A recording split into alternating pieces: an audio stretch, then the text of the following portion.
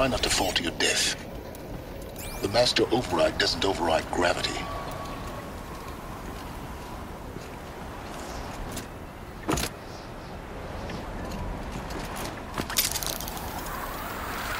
Keep holding, keep holding.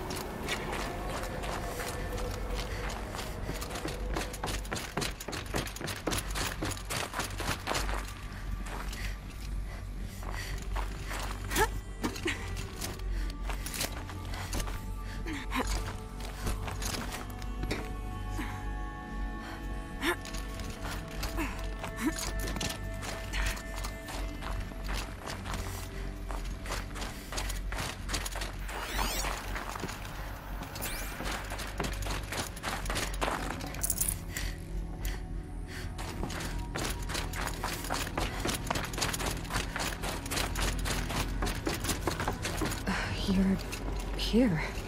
For a moment, What? our journey together has come to an end, Aloy. But before I go, I think I owe it to you to tell you the rest of the story. Go on. Some time ago, I admitted that I'd been involved with the eclipse. But I never told you the full extent of my culpability. The truth is, I was there at the beginning. I found Hades, Aloy, buried on that mountain, trapped in that shattered titan. And I served it. What? It promised knowledge and delivered. Such knowledge, you have no idea. And in exchange? I helped create the Eclipse. Helped it build a cult, an army to do its will. Why are you telling me this now? Because your success depends on knowing this. When I found Hades, the first thing it wanted to know about was the Spire. Not Meridian. The Spire. Now why would that be? The Spire was created by Gaia. Which part of Gaia? M Minerva. Its code-breaking module. Gaia built spires to transmit the codes that deactivated the Faro robots, shut down their biomatter conversion systems. Hades wants to send a new transmission. To wake the machines, so they can devour the world all over again. Yes. Based on what we've learned, that's my conclusion as well. So the Eclipse. The robots they've resurrected. They're just a means to an end. An army to capture the Spire. Yes. So Hades can exterminate life all over again. Unless you stop it. I want you to tell me everything. Hades, the Eclipse. Everything. It's a long story, Aloy. Then get started. It began with a focus, recovered from an ancient ruin, as yours was so many years ago. In my case, the device was heavily damaged. There was just a flicker of life in it. I spent weeks studying it, attempting repairs, until finally, I succeeded. A whole new dimension of perception revealed, right before my eyes. That's when I detected it. A faint signal. Out there, something was searching, just like I was. A real kindred spirit. I followed the signal to its source. A shattered titan, buried in the jungles of the Jewel. So you thought it was a Titan? An old war machine? I didn't know what to think. I'd seen such wreckage before. The Grave Hoard, for example. But this was different. This was not quite dead. It couldn't speak when I found it, until my repairs gave it a voice. So began an exchange of knowledge, It wanted to know everything about our world, its tribes and machines. But the Spire was always its foremost concern. What did it want to know about the Spire? Its precise location, the surrounding geography, who controlled the land. Meanwhile, Hades revealed to me many of the intricacies of ancient technology. It bid me to recover and repair more focuses. Before long, I had a couple dozen up and running. Enough to equip a small army. The commanders of one, anyway. I didn't care. I was learning so much. Physics, calculus. You have no idea. And the Shadow Carja? How did they become involved? The Carja Civil War was a happy coincidence. A perfect opportunity. An opportunity? That's what it was to you? Yes. Overnight, half the tribe was in exile, desperate to win back Holy Meridian. Their religion made them easy to manipulate. All I had to do was present Hades as the buried shadow of their mythology. So yes, it was an opportunity. I arranged for High Priest Bahavas to meet with Hades. Helis was there as well. And so the Eclipse was born. Anything to win back Holy Meridian. But Hades didn't care about Meridian. And neither did you. We live in a world of fallen cities and vanished tribes. What were a few more?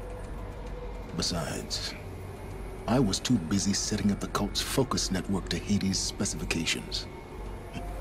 A thrilling technical challenge, especially with the alterations I included of my own design. The ability for you to spy on them. Yes. I may have been foolish enough to serve Hades, but I was never so foolish that I trusted it. I installed what the ancients used to call a back door in the network. Secret access, empowering me to monitor all activity and communications. What made you turn on Hades? It certainly wasn't your conscience. Actually, I was troubled the first time I saw the Eclipse raise an ancient war robot. With my technology. I questioned Hades about its intentions. A little late. Indeed. I'd already outlived my usefulness. When I completed work on the Focus Network, Hades summoned me to receive my reward. The next moment, I heard it broadcast my kill order. I've been a fugitive ever since. So when did I come into this? Our path together? When Olin stumbled on you. System threat detected. That got my attention. A kill order against a savage Nora girl? Why would Hades bother with that? But then I saw that this Nora girl was wearing a focus, and bore an uncanny resemblance to a great scientist of the old world. Helis moved quickly. I thought you were dead. But then I detected your focus, inside the Nora Mountain. The more I observed you, the more convinced I became of your extraordinary nature and usefulness. Through you, I could finally discover the secrets of the Earth. I vowed to do everything I could to ensure your success. The rest, as they used to say, is history.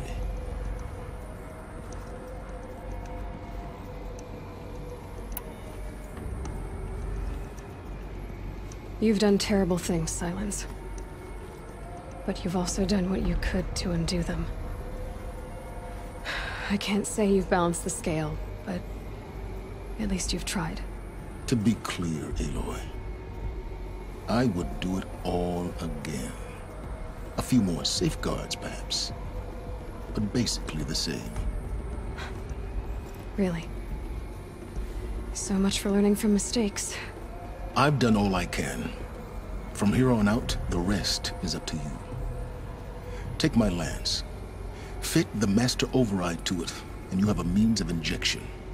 Then I just need to get close enough to Hades' skull to stab it in? Exactly. Oh, no problem. Sylens. Where will you go? Elsewhere. And everywhere. There's so much more to discover before the world ends. And all this? I leave it to you, of course. As it turned out, it was yours all along. I was merely trespassing.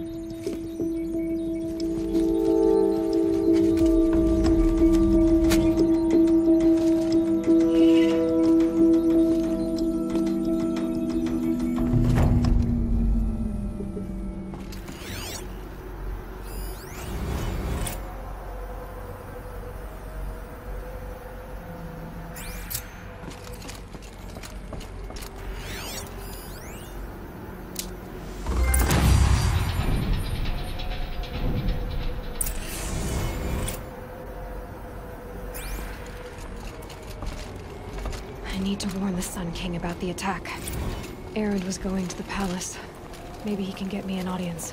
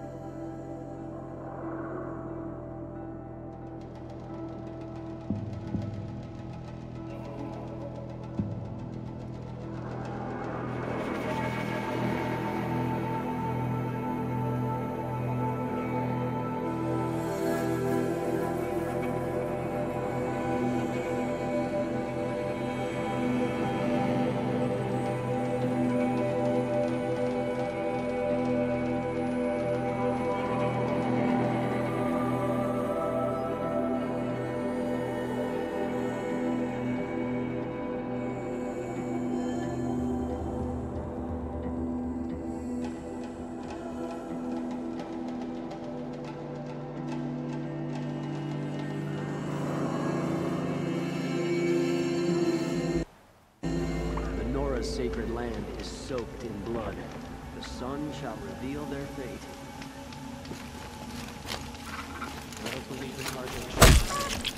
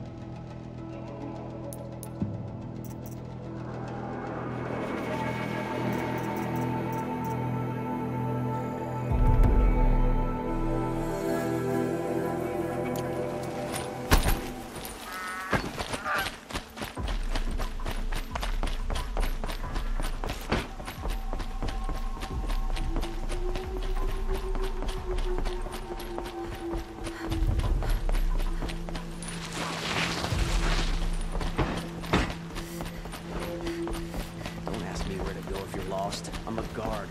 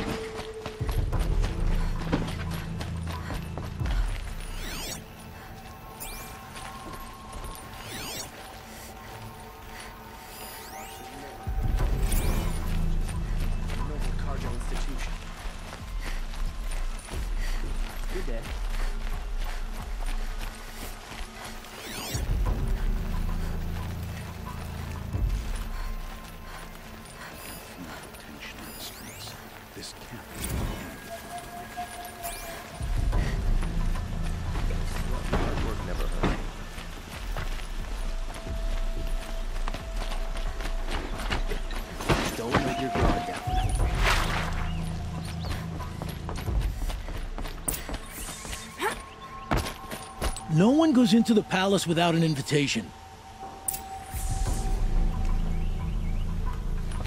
Greetings, Aloy. I am known as Blameless Marad. Please come with me. You're needed for an important consultation. What do you mean? Where's Erend? He's inside, attending the Sun King, where we should be without further delay. That's good. I have something urgent to tell the king. Then you shall have your chance. Follow me, please. All of these people are here to see the Sun King. Yes, and each has come to ask a favor of him. Unpleasant, but that's politics. The Sun King is eager to meet you, the machine tamer with a curious eye for detail. It's all very intriguing. I'm not here to intrigue you. Too late. Oseram special treatment, and now Outlanders from the Savage East? Passed by some Outlander woman? Onyx, I've been here for two hours, and Miss Nora goes to the front of the line.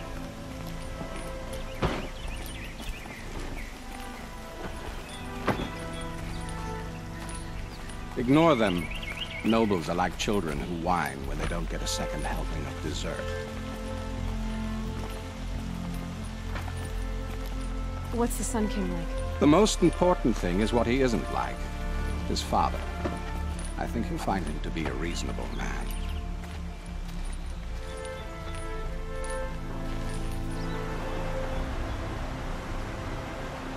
Aloy of the Nora. She who sees the unseen. Welcome. It would seem you have done me a great service. Erend, tell her what you found. I, checked Ursa's tomb. You were right, Aloy. The body is missing a scar below her right knee. I gave it to Ursa when we were kids, fighting over a toy sword. If the body is not Ursa's, then we must assume she is still alive. And I will not abandon her. We only know she was taken, not who took her. I can help with that. Ursa has an enemy among the Oseram. A warlord named Dervahl. Impossible. Every clan in the claim has been hunting for him since the liberation. He has to be dead by now. No other Oseram had the motive and ingenuity to lure Ursa into this trap. I expect to find him lurking somewhere near the border. I've already sent an agent to investigate. He'll be waiting for word from us at the marketplace in Pitchcliff. I can't move troops to the border without provoking the Oseram. But I could send a few vanguardsmen. And perhaps an exceptionally gifted Nora as well. Erend, Marad, let me discuss it with her privately.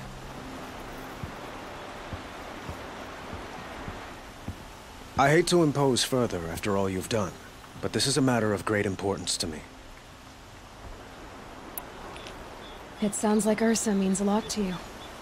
Without her Oseram vanguard, I would not have been able to liberate Meridian and end my father's brutal reign. Since then, it has been difficult to maintain peace between our tribes. But Ursa has a way of making her people see reason. So you see, I need her back at my side. And quickly.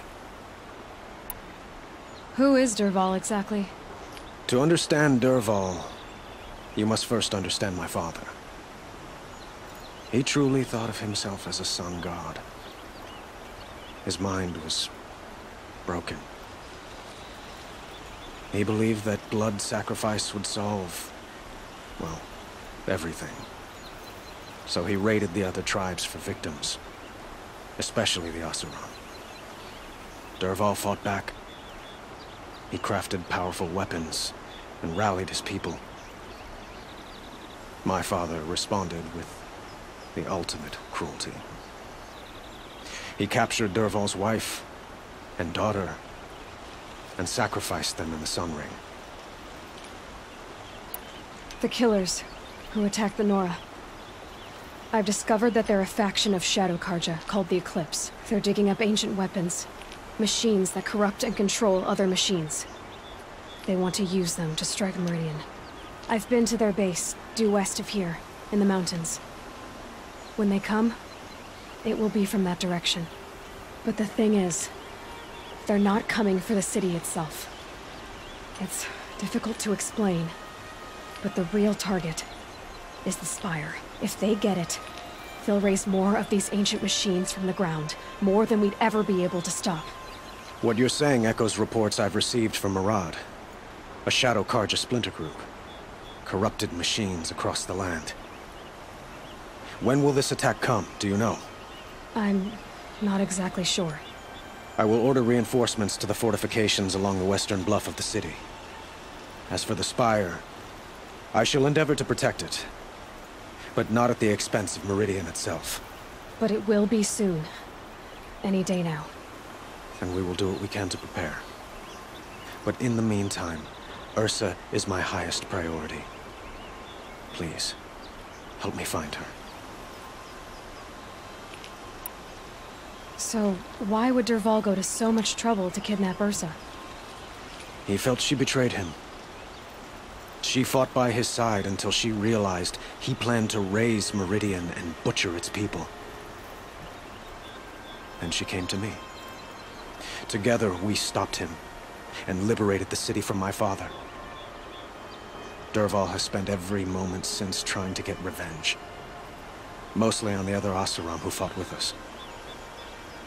He made so many powerful enemies. I thought we'd seen the last of him. I was wrong. I'd like to ask you something about the Sundom and its politics. By all means.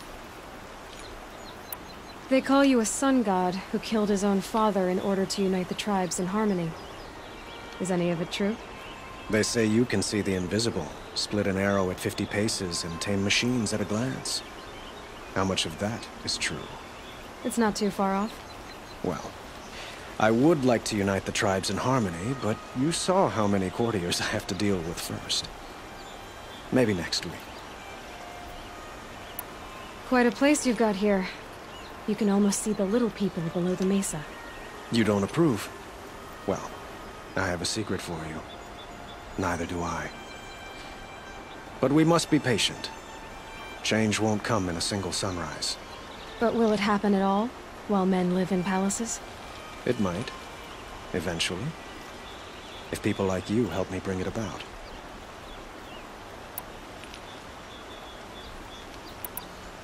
I need to get going. I know. Well, they say kings should never beg. But please, help me find Ursa. Who says that? Well, Marad, for one. Don't hesitate to ask him or Erend if you have further questions.